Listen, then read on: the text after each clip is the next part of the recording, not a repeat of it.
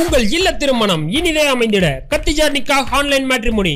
முஸ்லிம்களுக்காக 12 வருட சேவை அனுபவம் உள்ள நம்பகமான ஸ்தாபனம். தரமான தெரிவு செய்யப்பட்ட வரன்கள் தமிழ் உருது மலையாளம் வரங்களும் பதிவு செய்யலாம். ஆன்லைன் இணையம் மற்றும் வாட்ஸ்அப்பில் தொடர்பு கொண்டு பதிவு செய்யலாம். பதிவு முற்றிலும் இலவசம். ஆக்டிவேஷன் குறைந்த கட்டணம் மட்டுமே. மொபைல் மற்றும் WhatsApp number nine five double six zero six five double one three. W W W dot Khadija Nikah dot com.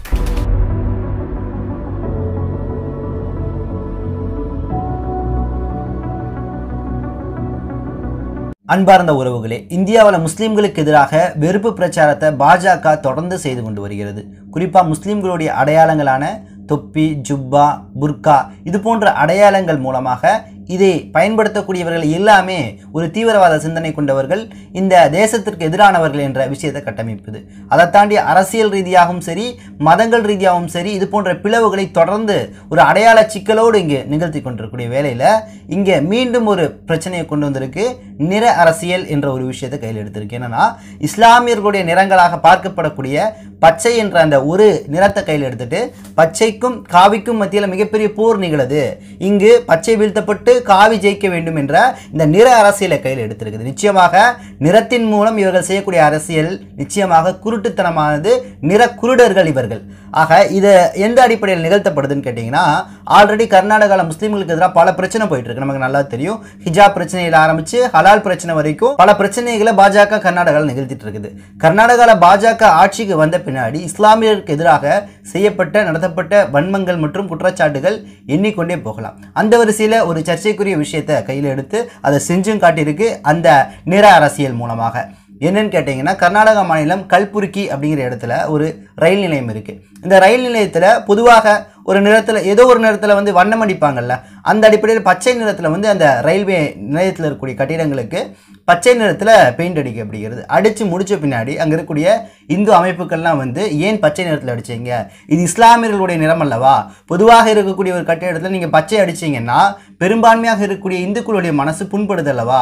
அதனால் இந்த பச்சை நிறத்தை நீங்கள் நீக்குங்கன்னு சொல்லிட்டு இந்துத்துவ அமைப்புகள் எல்லாமே இந்த ரயில்வே அதிகாரிகிட்ட கோரிக்கை வைக்குது. ஆனால் ரயில்வே அதிகாரி அதை பெருசாக எடுத்துக்கல.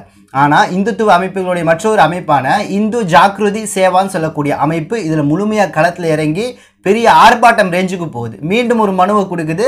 இந்த ரயில்வே அதிகாரிக்கு அவர் இதை ஏற்றுக்கொள்ளவில்லை. உடனடியாக என்ன பண்ணுதுன்னா ரயில்வே நிலையத்தை சுற்றி இருக்கக்கூடிய குடியிருப்பு வாசிகள்கிட்ட நேராக போய் அந்த மக்கள்கிட்ட கையெழுத்து வாங்குது. இது மாதிரி இப்படி பிரச்சனை போயிட்டுருக்குன்னு சொல்லிட்டு வேறு விஷயங்களை கூறி அவர்களை மைண்ட் வாஷ் பண்ணி கையெழுத்து வாங்கி கிட்டத்தட்ட ஒரு ஆயிரம் கையெழுத்துக்கள் நிறைந்த அந்த படிவத்தை கொண்டு போய் இந்த ரயில்வே அதிகாரிகிட்ட கொடுக்குறாங்க. அந்த ரயில்வே அதிகாரி அதை வாங்கிட்டு பெருசாக அதையும் பொருட்படுத்தவில்லை. ஸோ இந்த பிரச்சனையை கையில் எடுத்த இந்து ஜாக்கிரதி சேனாங்கிற அமைப்பு கல்புருக்கி முழுக்க ஆர்ப்பாட்டத்தையும் போராட்டத்தையும் முன்னெடுத்து பெரிய பிரச்சனையை அது பூதாகரமாக கிளப்புது. இப்படி கிளப்பக்கூடிய சமயத்தில் ஒரு விஷயத்தை கூடுதலாக பதிவு செய்து சில நாட்களுக்கு முன்னாடி மைசூரில் இருக்கக்கூடிய அரசு பேர் பேருந்து நிலையத்தில் இஸ்லாமிய கட்டிட வடிவமைப்பு சாயல்ல வந்து அங்கே கட்டப்படுகிறது. இஸ்லாமிய கட்டிட வடிவமைப்பு. அதனால இந்த அரசு பேருந்தை இடிக்கணும்னு சொல்லிட்டு பாஜகவுடைய எம்பி பிரதாப்னு சொல்லக்கூடியவர் ஒரு விஷயத்தை பதிவு செய்கிறாரு அங்கே மாநகராட்சிகிட்ட ஆனால் மாநகராட்சி பெருசாக இதை பொருட்படுத்தலை. மீண்டும் பதிவு செய்கிறாரு நீங்கள் இடிக்கிறீங்களா நான் இடிக்கவா? இது வந்து இந்துக்களுடைய மனதை புண்படுத்துதுல. நீங்கள் இஸ்லாமிய கட்டிட வடிவமைப்பை சார்ந்து இங்கே ஒரு கட்டிடத்தை கட்டி வச்சிருக்கிறீங்க. அப்போ இந்த பேருந்து நிலையம் எல்லாரும் பயன்படுத்தக்கூடியதுலன்னு சொல்லிட்டு அதுக்கு ஒரு மத சாயலை பூசி மத கட்டிட வடிவமைப்பை வச்சு அதை வந்து இடிக்கக்கூடிய காட்சிகளை பார்த்தோம். அதே மாதிரி அவர் சொன்ன மாதிரியே அந்த அரசு பேருந்து நிலையம் இடிக்கப்பட்டு மீண்டும் வேறு ஒரு வடிவமைப்பில் கட்டப்பட்டுச்சு. அப்போ இது எத்தகைய போக்கு? ஒரு பாஜக எம்பி பிரதாப்னு சொல்லக்கூடிய எம்பி அவன் சொல்ல வந்து மாநகராட்சி கேட்டு நடைபெறுது அப்படின்னா அது எவ்வளோ பெரிய வந்து தீங்கான செயல்? கண்டிப்பாக நடைபெறும். ஏன்னா கர்நாடகாவில் பாஜகவுடைய ஆட்சி நடக்கக்கூடிய வேலையில் பாஜக என்ன நினைக்குதோ அது சரியான முறையில் அங்கே செயல்படுத்தப்படுது. குறிப்பாக முஸ்லீம்களுக்கு எதிராக இது போன்ற செயல்பாடுகள் தொடர்ந்து நடைபெற்று கொண்டிருக்கிறது. ஸோ நம்ம இந்த பிரச்சனைக்குள்ளே வருவோம். இவ்வாறு ரயில்வே அந்த துறை அதிகாரிகிட்ட கொடுக்கக்கூடிய சமயத்தில் அவர் பெருசாக பொருட்படுத்தலை. ஸோ இந்த பிரச்சனை பெரிய வீரியமாக மாறி பெரிய ஆர்ப்பாட்டம் போராட்டம் சொல்லிட்டு கல்புரிக்கு முழுக்க இந்து ஜாக்கிரதி சேனான்னு சொல்லக்கூடிய அமைப்பு பெரிய அளவில் எடுத்துகிட்டு போகுது. ஸோ இதெல்லாம் பார்த்து இந்த ரயில்வே அதிகாரி இதற்கு மாரி சரிபட்டு வராது நம்ம இதுக்கு உடனடியாக முடிவெடுக்கணும்னு சொல்லிட்டு யோசிக்கக்கூடிய சமயத்தில் மீண்டும் ஒரு குற்றச்சாட்டு எப்படி வைக்கிறாங்கன்னா இந்துத்துவ அமைப்பு பாருங்கள் இந்த ரயில்வே அதிகாரி வந்து இந்துக்களுடைய மனதை புண்படுத்துறாரு. இந்துக்களுக்கு எதிராக இஸ்லாமியர்களுக்கு சார்பாக செயல்படுத்துறாரு. அப்படின்னு சொல்லிட்டு இந்த இந்துத்துவ அமைப்புகள் பிரச்சாரம் பண்ண ஆரம்பிச்சிடுறாங்க. ஸோ என்ன பண்ணுறாரு இந்த நேர்மையான அதிகாரி. வழியே கிடையாது. இதை மாற்றணும்னு சொல்லிட்டு உடனடியாக வெள்ளை பெயிண்ட்டை வாங்கிட்டு வந்து உத்தரவிட்டு அங்கே பச்சை பெயிண்ட் அடிக்கக்கூடிய எல்லா இடங்கள்லையும் வெள்ளை பெயிண்ட் அடித்து அந்த பச்சை பெயிண்ட் எல்லாமே நீக்கப்படுது. அப்போ இவங்க பச்சை என்பது இஸ்லாமியருடைய நிறம். இதை நீங்கள் வச்சீங்கன்னா இங்கே கூடாது அப்படின்னு சொல்லிட்டு ஒரு நிற அரசியலை இங்கே வந்து முன்னெடுத்து செய்கிறாங்க இது எவ்வளோ பெரிய ஆபத்தான செயல்? இதை தாண்டி அந்த கல்புருக்கியில் இருக்கக்கூடிய அந்த ரயில்வே நிலையத்துடைய கட்டிட வடிவமைப்பு பார்த்தீங்கன்னா டோம் போல் இருக்குது ஸோ இந்த டோம் போன்ற இருக்கக்கூடிய கட்டிட வடிவமைப்பு இஸ்லாமியர்களுடைய கட்டிட வடிவமைப்பு. அதனால் அதை இடிக்கணும்னு சொல்லிட்டு மீண்டும் ஒரு போராட்டத்தை எடுக்கிறாங்க. நீங்கள் இந்த டோம்னிங்கன்னா இன்றைக்கி வந்து எந்த கட்டிடமே அரசு கட்டிடங்கள் எதுவுமே இருக்க முடியாது.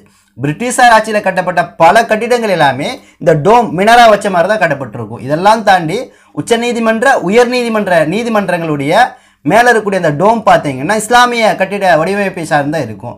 எங்கள் இந்த இந்துத்துவ அமைப்புகள்லாம் போய் அங்கே இடிக்க சொல்லுங்க. வாய்களே பேசுவாங்க. ஆனால் வக்காலி ஒன்றுமே செய்ய மாட்டாங்க. கடுப்பாக வருது. இவங்க பண்ணக்கூடிய வேலைகள் ஒவ்வொன்றும் இந்த சமூகத்தில் குந்தகத்தை நிகழ்த்தக்கூடிய செயலாக இருக்குது. இங்கே ரயில்வே நிலையத்தில் பேசுகிற கட்டிட வடிவமைப்புன்னு சொல்லிட்டு நீதிமன்றத்தில் போய் பேசிப்பாரு. பேச முடியாது. திராணி கிடையாது தெம்பு கிடையாது உனக்கெல்லாம். இவ்வாறு முஸ்லிம்கள் மீது வெறுப்பை விதிக்கக்கூடிய இந்த இந்துத்துவா சங் பரிவார் அமைப்பு திப்பு சுல்தானுடைய பிறந்த நாள் தினத்தை நாங்கள் கர்நாடகாவில் கொண்டாட மாட்டோம் அப்படின்னு சொல்லிட்டு ஒரு முடிவு எடுத்திருக்கிறாங்க. ஏன்பா கொண்டாடலன்னு கேட்டால் ஒரு அறிவுக்கே எட்டாத ஆதாரப்பூர்வமே இல்லாத ஒரு விஷயத்தை பதிவு செய்கிறாங்க என்னென்னா திப்பு சுல்தான் தீபாவளி அன்று பெரும்பான்மையான இந்துக்களை தூக்கில் ஏற்றினார். இத்தகைய துரோகியுடைய பிறந்த நாளை நாங்கள் வந்து கொண்டாட மாட்டோம் அப்படின்னு சொல்லிட்டு திப்பு சுல்தானோட பிறந்த நாளை புறக்கணிக்கக்கூடிய இந்த சங் பரிவார் அமைப்பையும் நம்ம பார்க்கணும் கூடுதலாக என்ன சொல்றாங்கன்னா இவர் சுதந்திர போராட்ட தியாகியே கிடையாது.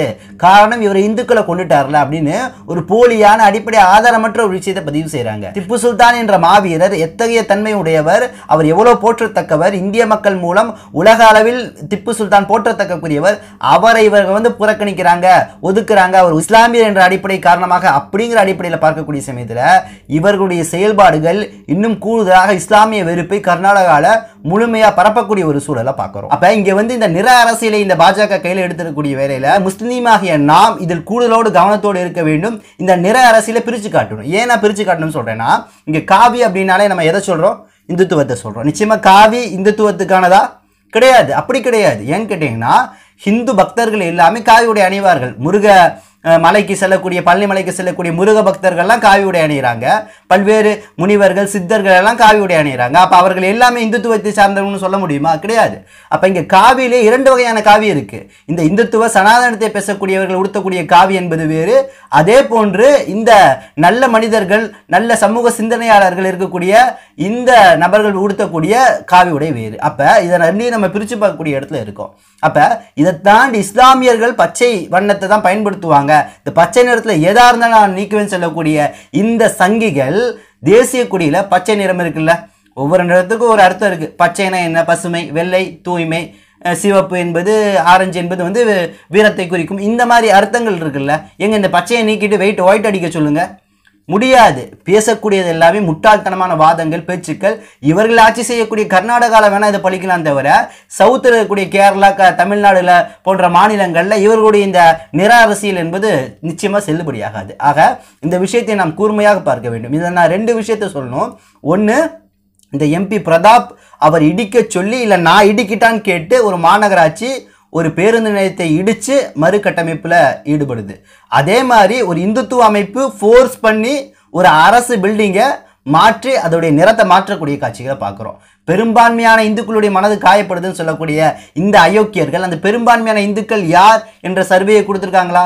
அவர்களுக்கு வந்து அவர்கள்ட்ட போடியாக போய் கையெழுத்து வாங்குறது. என்ன விஷயம்னு சொல்கிறது இல்லை உங்களுக்கு வந்து இந்த ஸ்கீம் வருது அந்த ஸ்கீம் வருது அப்படின்னு பொய்யான கையெழுத்துக்களை வாங்கி தான் என்ன பண்ணியிருக்காங்க இந்த ரயில்வே அதிகாரிகிட்ட அதை கொடுத்து ப்ரெஷரை போட்டிருக்காங்க. அப்போ அயோக்கியத்தனம் செய்யக்கூடிய ஆர்எஸ்எஸ் சங்கிகள் இதை வந்து எந்த காலமும் செய்யலாம். ஆனால் தமிழ் பூமியில் செய்ய முடியாது. இது தொடர்ந்து நீங்கள் நிகழ்த்தக்கூடிய சூழலும் இந்தியாவில் நிலவாது. காரணம் ஒற்றுமையோடு வாழக்கூடிய நாங்கள் இந்து யாரு ஹிந்துத்துவா யாரு நீங்கள் பயன்படுத்தக்கூடிய காவி எந்த விஷயத்தையும் எந்த கருத்தையும் முன்வைக்குது. இங்கே சாமானியர்கள் பயன்படுத்தக்கூடிய காவி உடை என்ன கருத்தியலை தாங்கி வருதுங்கிற எல்லா விஷயத்தையும் நாங்கள் புரிஞ்சு வச்சிருக்கிறோம். உங்களுடைய இந்த நிற அரசியலை உங்களோடு வைத்துக் கொள்ளுங்கள். இது பொதுமக்கள் மத்தியில் நீங்கள் வந்து முயற்சி செஞ்சீங்கன்னா அதே நிற அரசியலை வைத்து உங்களை ஓட ஓட விரட்டுவார்கள். காரணம் ஏன் தெரியுங்களா? தமிழ்நாட்டில் உங்களுக்கு அப்படி அடி விழுந்திருக்கு. அம்பேத்கருக்கு காவி சாயம் சோழனுக்கு காவி சாயம் திருவள்ளுவனுக்கு காவி சாயம் எல்லாம் தாண்டி ரஜினிகிட்ட கொண்டு போய் நீயும் காவி சாயத்தை அடிச்சுக்கன்னு பூசக்கூடிய சமயத்தில் ரஜினி சொல்லிட்டாரு திருவள்ளுவர் சிக்க மாட்டாரு நானும் சிக்க மாட்டேன் அப்படின்னு ஒரு ஸ்டேட்மெண்ட்டை முன்வைக்கிறார் அப்போ இதில் தெளிவாக நாங்கள் இருக்கின்றோம் நீங்கள் செய்யக்கூடிய அரசியலையும் நீங்கள் செய்யக்கூடிய இந்த பச்சைக்கும் மற்றும் காவிக்கும் உண்டான போர்க்களத்தை உருவாக்கணும். இந்த பச்சை அப்படின்னாலே என்ன பண்ணணும்? எல்லாரும் வெறுக்கணும். இந்த பச்சை நிறத்தையே வந்து எல்லா மக்களும் வெறுக்கணும் அப்படிங்கிற சூழ்ச்சி உணர்ச்சியை நாங்கள் நிச்சயமாக புரிஞ்சிருக்கிறோம். உங்களுடைய காவியை முறியடித்து பச்சை வண்ணத்தில் இருக்கக்கூடிய இஸ்லாமியர்கள் அதே போன்று பசுமையோடு வாழ்வோம். இந்த மக்களோடு பசுமையோடு இயங்கிச் செல்வோம் என்று கூறி மீண்டும் ஒரு நிகழ்வில் சந்திப்போம். நன்றி.